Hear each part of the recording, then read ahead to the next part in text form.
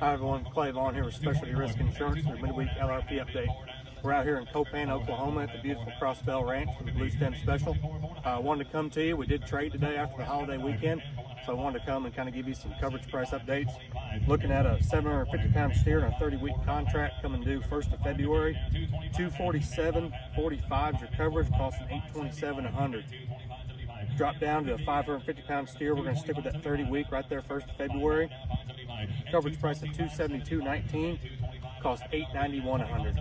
You know, these coverage prices keep climbing on us, and we got to start looking for some coverage even out there next year.